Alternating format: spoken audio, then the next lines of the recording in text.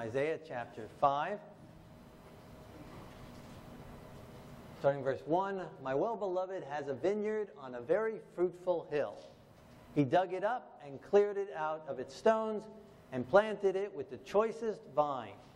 He built a tower in its midst and also made a winepress in it. So he expected it to bring forth good grapes, but it brought forth wild grapes. Yeshua told a parable very similar to this of a vineyard and of an uh, owner who did everything he could to make it produce. Uh, we see everything there is good. It's a fruitful hill, it's a good location, the soil is good. He dug it, he cleaned it out of its stones, he planted the best, choicest vines that he could find, put a tower in there to watch for invaders and for uh, both human and animal. Made a wine press, ready for the grapes to come, invested time, energy, money into this.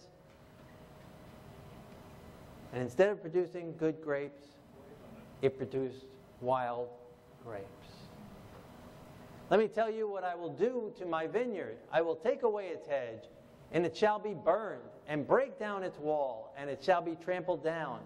I will lay it waste, it shall not be pruned or dug but there shall come up briars and thorns.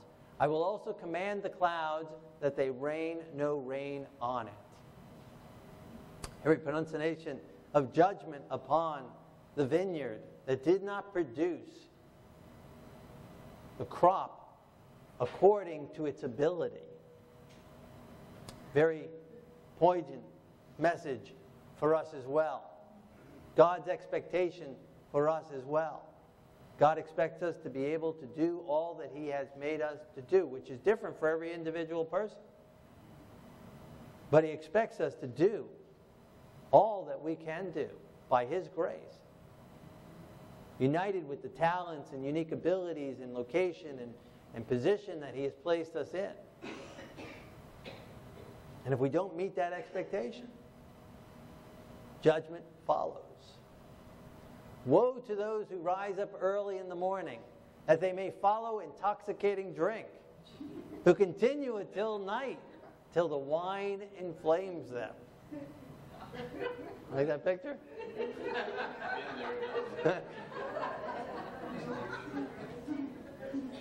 it wasn't hard finding pictures for this. It was finding which one to show. That was the challenge. Yoga. Grape colored a twist. But all too often, right? And unfortunately, some of us have been there and have done that. But by God's grace, He has delivered us. Because there's a woe to those who rise up morning in the morning and follow the intoxicating drink. Alcohol destroys destroys of souls. The harp and the strings, the tambourine and the flute. In verse 12, and wine are in their feast, but they do not regard the work of the Lord, nor consider the operation of his hands. So, partying and music and alcohol, living life that God has given from the breath that He has breathed into us, from the strength and the energy that He has given to us, but not considering that we are God's handiwork, that God created us, and that we are fearfully and wonderfully made, and how miraculous and powerfully God made us, that we put toxins into our bodies continuously. And yet we live and resist it for so long as we do is absolutely amazing. Eventually, the disease and the results catch up with us. But for how long it takes, if we did these kind of things to our cars, they wouldn't even run at all. You know, I mean, you put alcohol or sugar or whatever into your car, or tons of fat or whatever into your car, you know, grease into your car, it would, it would stop running immediately. But our bodies just keep on ticking for quite some time after the abuses that we do to it. And we don't consider it, we don't regard it as the work of the Lord, as the hand of the Lord, as the miracle of the Lord. My people have gone into captivity because they have no knowledge. Proverbs Solomon talked over and over again of the importance of the knowledge of the knowledge of the Word of God. Knowledge is one thing, wisdom is another. Knowledge, soaking up God's truth, soaking up God's Word, understanding God's Word, and then wisdom, putting it into practice in our lives. Starts with knowledge, getting to know God. He makes himself available to us. Again, just our bodies, just how they're made, just amazing things. Our hands are just amazing. I was thinking about that this week, how amazing. Well, Fred got me on that. He said, This is the amazing. You want to see the most amazing tool? We were working and he had a bunch of tools there. He said, You want to see the most amazing tool? And he raised his hand. And it is, it's an amazing tool. Absolutely remarkable. How we're made. Amazing. The abilities that God has given to us. And the eye, the eye is just an unbelievable mechanism. Thousands of muscles in play a little tiny eye. I can focus far, at least when we're young. I focus far and then automatically focus close. I mean, just amazing. The ability to do that. All the various functions and nerve endings and that's, that's in there. And the picture comes in upside down and our brain flips it up the right side colors, be able to see colors. There's very few animals that can see colors. Amazingly, the complexity of the eye. With all those various things taking place just to be able to see. There's no way it could just have happened. No way that all those different muscles and nerves and ability, both in the brain and in the eye itself and in the cornea and all the different aspects of it, to all of a sudden just be there. You'd have to have one piece at a time evolve. And there's no way that, according to survival of the fittest, that these pieces would evolve without any purpose or use until they're all there in place. Absolutely. And we don't even have the best of eyes. I mean, like eagles and hawks, they can see much further than we and much sharper than we. Horses, they can see almost, you know, all the way around. And, and, and uh, flies, I mean, you look at the eyeballs on a fly or on a frog, right? You know, we're a higher species than them. How come we don't have eyes like that? you know, I mean, we should have everything that's the best of everybody if we keep on evolving better. Right? So we can have eyes, you know, just see all over the place. Right? Some people have eyes in the back of their head, but you know, not all of us have that, uh, that privilege. right? Yeah. I didn't want to get specific, but you know. Yeah, we're made amazingly. So we can see the knowledge of God, the ability of God, the power of God, just in creation. And then in His Word. But we go into captivity, we go into bondage, we go into bondage of sin and habits when we neglect God's Word and ignore God's Word and don't accept it and believe it for what it says. Verse 15 People shall be brought down, each man shall be humble, like the guy on the chair, right? half off the chair, right? And the eyes of the lofty shall be humbled, but the Lord of hosts shall be exalted in judgment. And God, who is holy, shall be hallowed in righteousness. His righteous judgment will testify of his holiness, of his exalted position that he raises up and he can bring down. That he is still in control. That he is able to humble the proud, the proud. Have some friend take a picture of you, an embarrassing picture of you if he needs to, to bring us down, to wake us up, to show us that we are weak without him, that we are in need of him. And again, eventually everything catches up with us, even if not eventually in all of our lives, we get to the point of realizing our humanity, our mortality, and that it is only by God that we have life and that we have strength. He will be exalted in the judgment. All will be seen that He has done right in his judgment, that he knows best, that he knows right from wrong, and he warned us and he told us for our own benefit. And one day, every knee shall bow and acknowledge that he is right. Now, some will come forth as a message of just confession, but not of repentance. But others will acknowledge it in its verity and truth, and acceptance of it, and appreciation of it that He is Lord of Lords, King of Kings, and worthy and right in His judgments. Even as Judas threw down the 30 pieces of silver, acknowledged that he betrayed innocent man. Not of confession, but just of acknowledgement. Not of repentance, but of acknowledgement.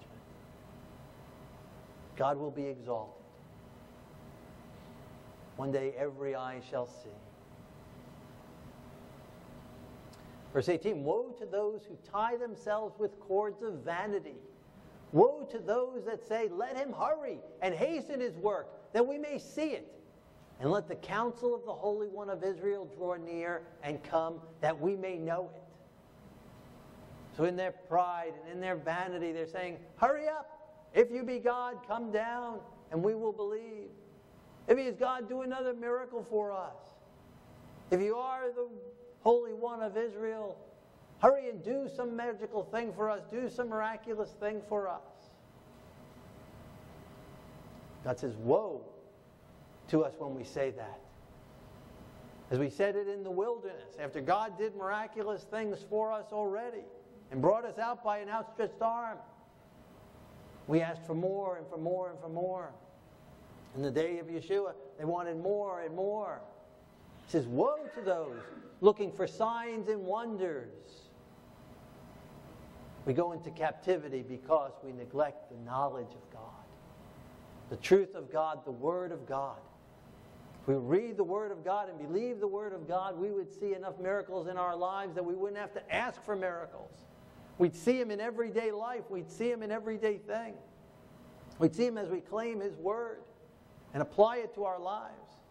As we see Him changing our desires and changing our minds and changing our mindset, changing our lives. We'll see the miracle of God. We'll see victories in our lives. We'll see Him give us the ability to do things we weren't able to do before, the ability to resist things we weren't able to resist before. We will see the miracles of God, the most powerful miracles of a changed life, of a changed heart. We will need outward signs and outward miracles. It's nothing for God to part a sea. It's nothing for God to provide food for thousands and millions. The biggest miracle is a changed heart.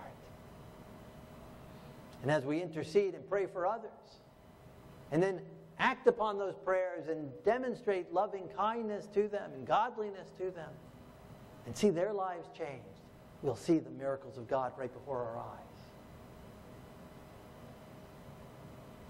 Woe when we're doubting. Hurry up and show us something. Do something.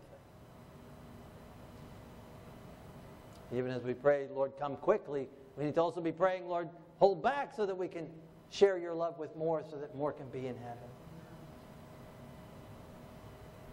Verse 20 Woe to those who call evil good and good evil, who put darkness for light and light for darkness, who put bitter for sweet and sweet for bitter. I've been hearing this quote often over the last several weeks. I've been quoting it myself over the last several weeks. And what we're seeing going on in the world around us more and more. Everything seems upside down. People are calling things that are evil. The Bible declares as evil and they're calling it good. And things that are wrong People are saying it's accepted and it's good. They're voting with the, the ballots and they're thinking majority should rule and make something that is bad now good just because the majority thinks so. No, God will be exalted in that day. God's word is what is right, not majority rule with God.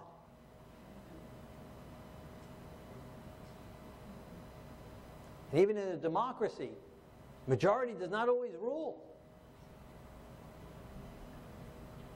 If the majority voted no more speed limits on the highways or on any roads, no more stop signs, no more street lights, no more stop lights or traffic lights, should we in, in, in, install that and do that because the majority ruled for it?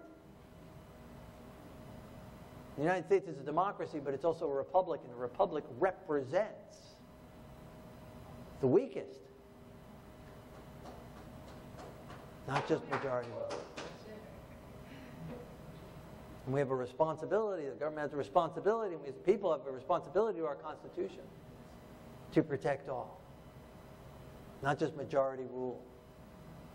That's just because some groups are now saying this is good, which the Bible says is evil. Upside down. Upside down world we're seeing.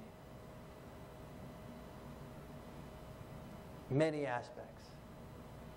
In addition to another aspect, vilifying Israel in the world.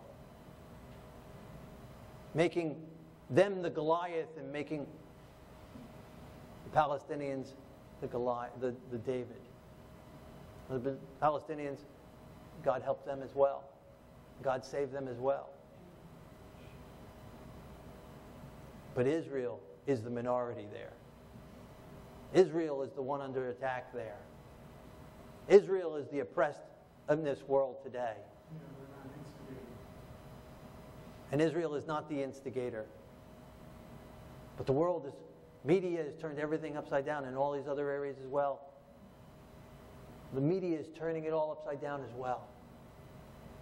They're calling those who are just doing their job evil. Doing the job that the government has hired them to do and calling them evil. When they're doing their job rightly. And calling those who are doing evil as the victims. Upside down. Crazy world. Upside down world. Woe to those who call evil good and good evil who put darkness for light and light for darkness. Woe upon this world. Woe upon this world. We should look up and rejoice because our redemption draws nigh. Woe to those who are wise in their own eyes and prudent in their own sight. The wisdom of this world the evolutionists of this world, wise in their own eyes. They don't have any proof of how it started. They don't have any hard facts. Wise in their own eyes, in their own estimation. Deniers of God, deniers of God's word. Wise in their own eyes. Proud, boastful, boastful. And woe to us as well. Any of these things should apply to us as well, could apply to us as well. Woe to us if we are ignoring the knowledge. Woe to us if we get pride, allow pride uh, to come into our minds and hearts. Woe to us if we think our ways are better than God's ways. Woe to us if we try to reinterpret God's word. Woe to us if we take it and twist it to our own damnation. Woe to us if we think our religiosity covers our sins.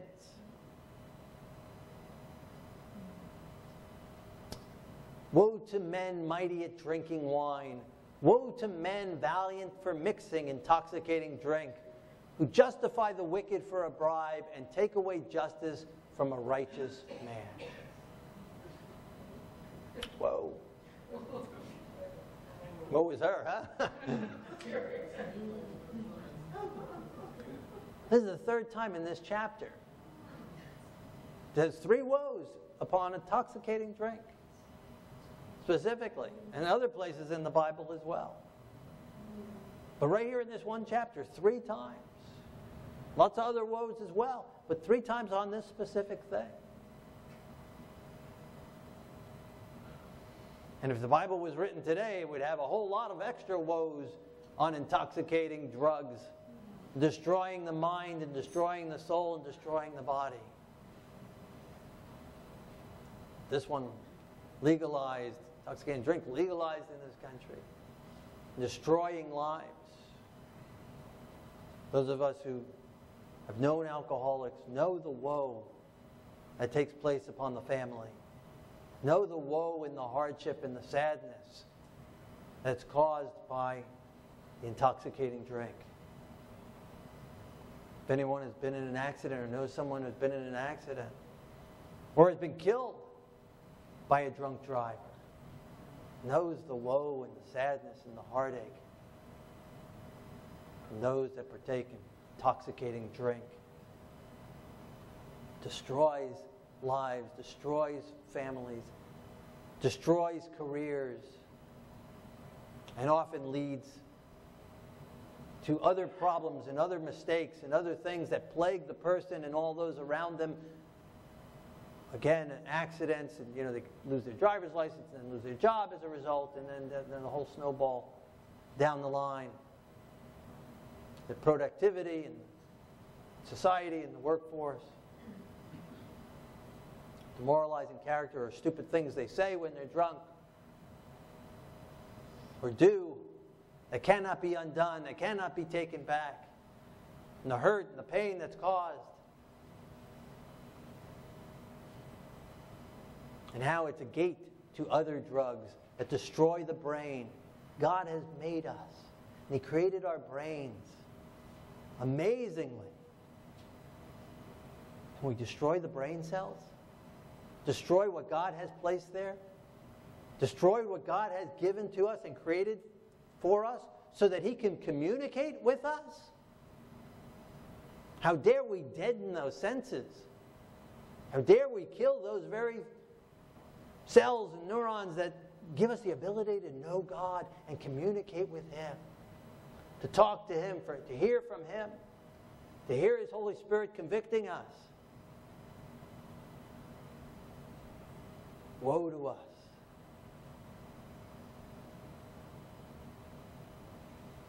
We're wise in our own eyes. They found out how alcohol kills the brain. It kills the brain. Like what, what happens is uh, when you drink alcohol, it enters the bloodstream, it causes your red corpuscles to pump together like brakes. And your brain can't use that. It can only need, can only extract oxygen from a single.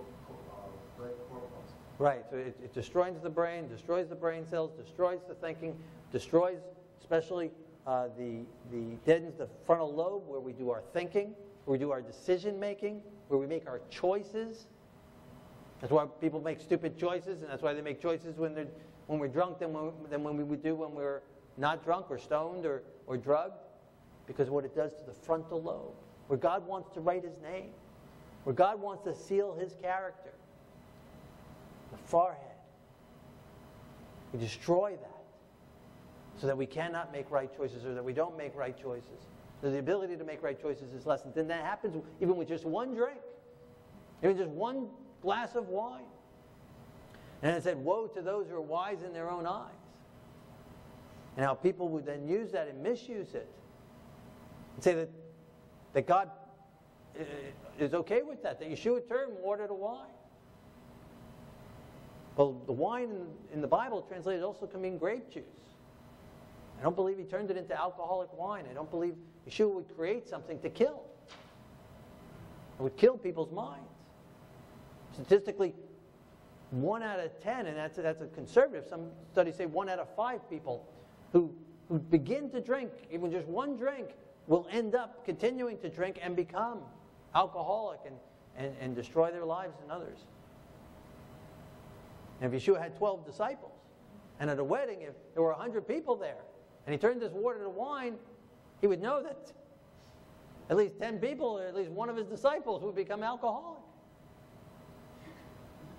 He wouldn't do that. He wouldn't create that.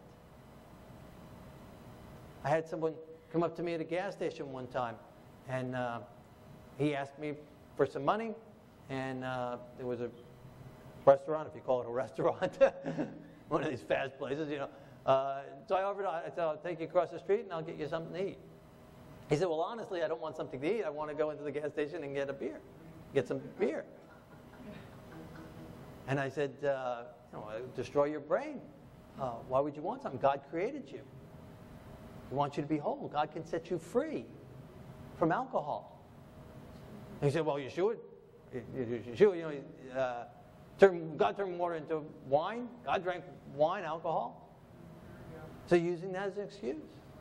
That's another reason why I don't think Yeshua did that. Because why would he allow someone, and many, to use that as an excuse for debauchery, for alcoholism, for destroying their lives and destroying their brains, destroying their souls? Again, there's many other reasons, but the Bible is pretty clear. Woe to those. There's a blessing in the grape juice. All the studies that say, oh, wine is good for your heart, it's not the alcohol. It's the grape. It's the, it's the enzymes in the grape. Drink lots of grape juice. And eat lots of grapes, and you'll have the same benefits. And even more, and even better. Without the deadening of the brain cell. God created us to be whole. Woe to those who destroy themselves with alcoholic wine. Solomon talks about this. Uh, to, don't even look at it when it turns red in the cup, when it ferments.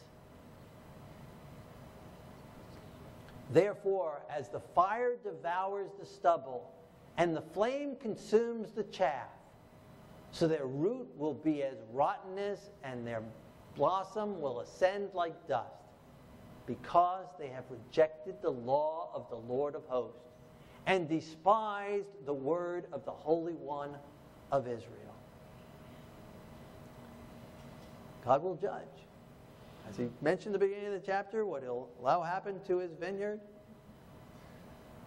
he will allow it to be devoured, the flame consume it and consume every part of it, down to the root, nothing but rottenness, totally destroyed. Why? If we reject the law of the Lord of hosts. If we reject his word, if we reject his knowledge, we reject, reject what he has said is right, reject what he has said is wrong, we will be destroyed. We will destroy ourselves. And he will be exalted in that day, in judgment. And it will prove and demonstrate that he is righteous. And because we despise the word of the Holy One of Israel. Let us not be despisers of his word, but receivers of his word. And not just hearers of the word, but doers of the word. We cannot do it by our own strength and power. We cannot resist temptation and all these woes that we read in our own strength and power. We cannot resist pride. We cannot resist vanity. We cannot resist, resist drunkenness and debauchery and rejection and, and resistance to God's word in our own strength. Because we're born with those carnal inclinations, we're born with those natural desires. But thank God He has paid a way, paved a way. Thank God He has not given up on us. Thank God He reaches out to us. Thank God He sent the sacrifice for us. God Himself has provided the sacrifice for us to take away our sins and not only our record of sins, but to take our carnal nature and our carnal desires and our carnal hearts and our weaknesses and our inabilities and take them upon Himself, removing them from us, taking our very selves into Himself and destroying it once and for all. And He's promised then to give us a new life and to live in us a victorious life by His power and by His strength, by His mighty outstretched arm. Same one that parted the Red Sea, the same one that brought the plagues, the same one in His might and power has done gloriously, the same one who has come and lived a life without sin wants to come and live in His people and live out His life in us and through us. The power of God Verse 25 Therefore, the anger of the Lord is aroused against his people. He has stretched out his hand against them and stricken them. And the hills tremble. Their carcasses were as refuse in the midst of the streets. For all of this, his anger is not turned away, but his hand is stretched out still. God hasn't given up on us. God hasn't given up on this world. He has seen how we have rejected. He has seen how we have turned. He has seen how everyone has gone astray. Everyone has gone his own way. And yet his hand is outstretched still. He's allowed calamities to come upon this world. He's allowed calamities to come down upon us. He's allowed us to experience the, the, the depth of, of our decisions and the end results of our mistakes.